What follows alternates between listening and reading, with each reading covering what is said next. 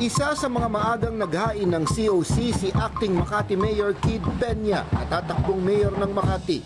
Vice Mayor niya si Carla Mercado, anak ni dating Makati Vice Mayor Ernesto Mercado na tumistigo laban sa mga binay sa Senado.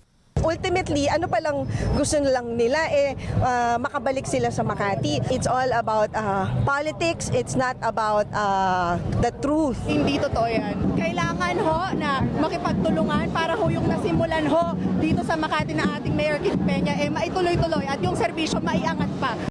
Hindi pa malinaw kung si Junjun o si Representative Abby Binay ang ilalaban kay Peña. Tapos na ang termino ni Abby. Kaya sa pagkakongresista, ang asawa niyang si Luis Campos ang tatakbo. Sa Mandaluyong, last term na rin ni Congressman Boyet Gonzales at Mayor Benhur Abalos. Kaya ang kanya-kanyang asawa nila ang tatakbo. Si Queenie Gonzales bilang congresswoman at si Menchi Abalos bilang mayor. Sa Maynila, tatakbo sa pagka-mayor si Representative Amado Bagatsing kontra kay incumbent mayor Erap Estrada na sa Miyerkules maghahain ng COC. Sa San Juan maglalaban sina Mayor Gia Gomez at kanyang Vice Mayor na si Francis Zamora. Ganon din sa Muntinlupa.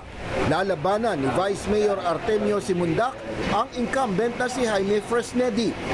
Sa Valenzuela, naghain din ng COC si Mayor Rex Gatchalian.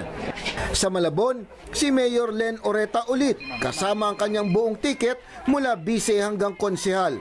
Obserbasyon ng isang analyst, nakakalungkot na walang ipinagkaiba ang Metro Manila sa probinsya na halos walang bagong pagpipilian.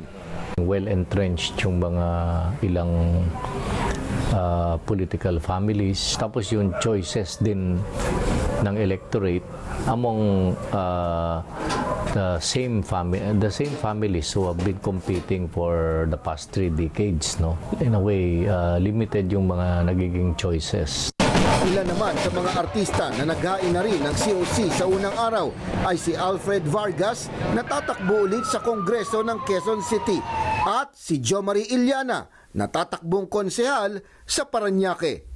Ron Gagalak, ABS-CBN News.